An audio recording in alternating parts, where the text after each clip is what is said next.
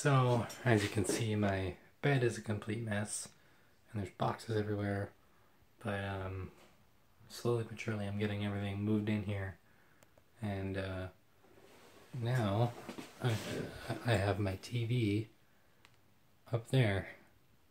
I just realized how small my TV looks on the camera, but it's actually like at least a decent size.